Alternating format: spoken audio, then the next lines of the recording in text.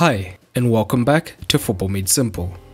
We're back with a quick in game tactical analysis as Chelsea hosted United in a match that could be crucial for the Champions League stakes. Both managers had a chance to show how their teams are progressing, and in the end, the match ended 2 0 to United thanks to Martial and Maguire, although Chelsea was slightly ahead in the XG stakes.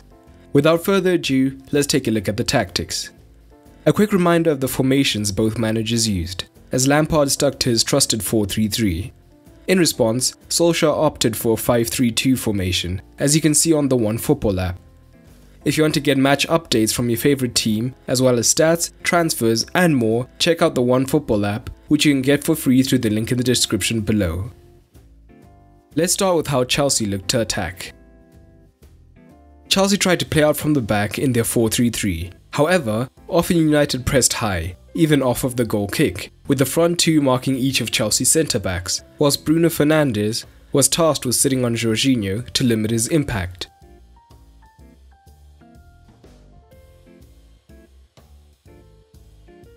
However, when deep on the build-up, Chelsea could keep their wingers high and wide to pin United's wingbacks back.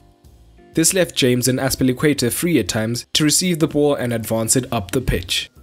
However, Chelsea often looked to counter United's press by moving into a 4-2-3-1, with Kovacic and Jorginho as the double pivot, whilst Kante initially and soon Mount would move higher up the pitch.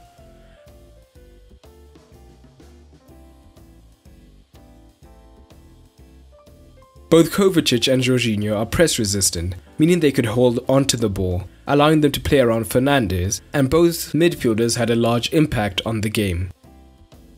United's double pivot couldn't always back up the press, as Mount would have moved into this dangerous position.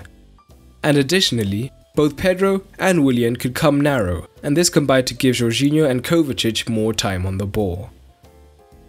As they moved higher up the pitch, the fullbacks would push higher. United would push Wan-Bissaka and Williams high on the Chelsea fullbacks, but this left a gap behind them with the wingers having to come inside to occupy United's wide centre back, Mount in his roaming role would often make darting runs into the space left behind and either look to combine or play across into the box.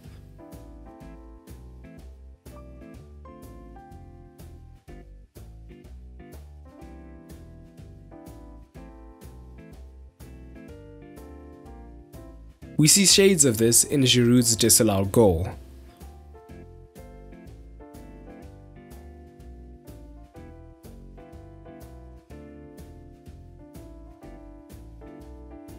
Fred does have a high defensive work rate, and often he looked to follow Mount or whoever the midfield runner was into these wide areas whenever he could.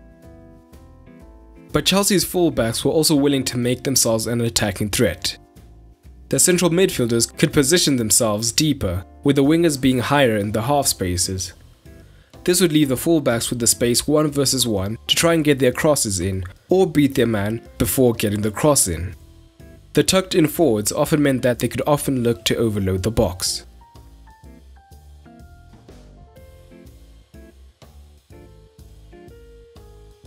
Once Giroud came on, Chelsea went direct more often, with Mount pushing high alongside him for the knockdown, but they didn't have much luck.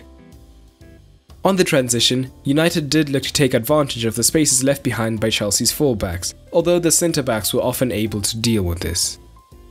Now, let's look at how United looked to attack. United also looked to play out from the back, and Chelsea also looked to press. To deal with the three centre backs, Chelsea had to bring their wingers narrow on the press.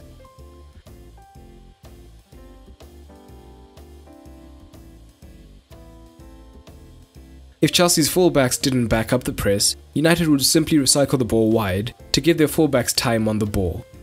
But often Chelsea did push their fullbacks higher up, and in these cases, Martial would often pull wide to the left to look to receive a long pass from Harry Maguire to isolate him against the centre backs, which they managed to do at times.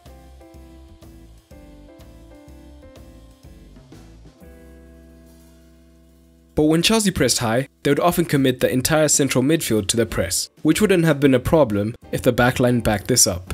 And at times Chelsea's press did lead to some chances,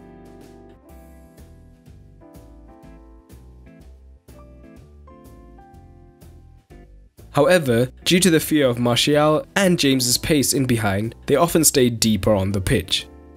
This left a gaping hole between defence and midfield, and Bruno Fernandes would often move into these positions.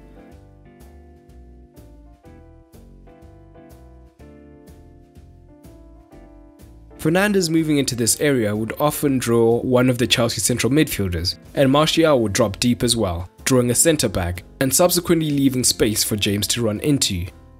The positioning of the front three during this manoeuvre was fluid, making it even harder for Chelsea to track. This did lead to a couple of big chances for United.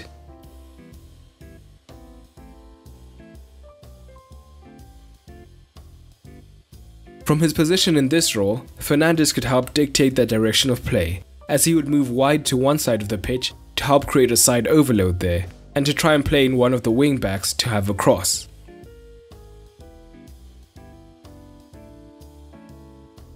From these defensive positions, Chelsea did look to counter-attack to Batshuayi, with Pedro moving high alongside him to support him. However, the three centre-backs of United were often able to deal with this. Overall, the match was intriguing, but did show that both teams have a long way to go to be at the same level as City, Liverpool, and the other teams around Europe, as they struggled to create clear cut chances, and the match was decided by true great headers. But what do you think both teams need to improve? And what other tactics did you notice used during this match?